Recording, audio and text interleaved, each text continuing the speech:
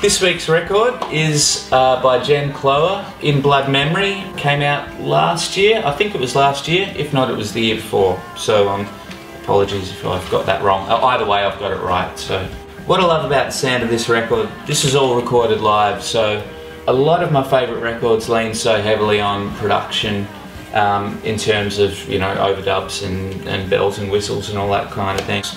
And this is just, um, I mean, it's a testament to Jen Cloher as a songwriter that it's all recorded live and it's a live band and there are no overdubs and still the songs are just unadorned and lyrics are beautiful, band sounds great.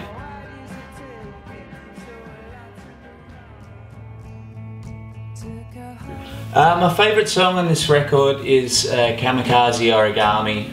I found it so moving that the first time I heard it, I took the record off the turntable and had to sit down and try and write a song. And in 20 minutes, I, I came up with the song completely finished, words and everything. And in hindsight, I think I might have ripped off that a little bit. So, sorry, Jen, if I uh, stole some of your chords. Sorry. I don't know, just something about the just the strength of these songs on this record. I, I just felt like writing songs myself.